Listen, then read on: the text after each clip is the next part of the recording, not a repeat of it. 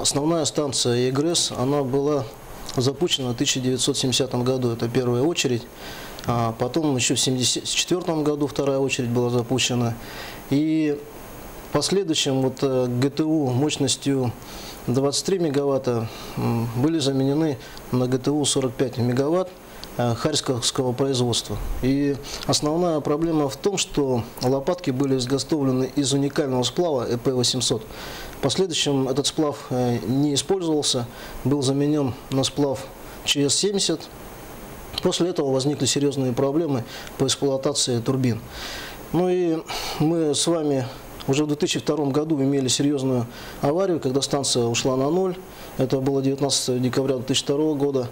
И 1 октября этого года была сложная ситуация, когда у нас э, тоже станция встала на ноль. И благодаря тому, что мы имели уже построенную станцию ЯГРЭС-2, мы смогли справиться с ситуацией и в течение нескольких часов обеспечить э, Якутское центральное район электроэнергии. Абсолютно верно было принято решение по строительству этой станции. Этот вопрос поднимался а, начиная с 2005 года.